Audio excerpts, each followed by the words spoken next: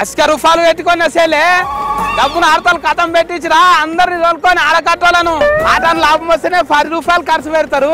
అసలు కోట్లు కోట్లు లాభం వస్తాయి ఇక. ఎవరిది సత్తి. గరం సత్తిది.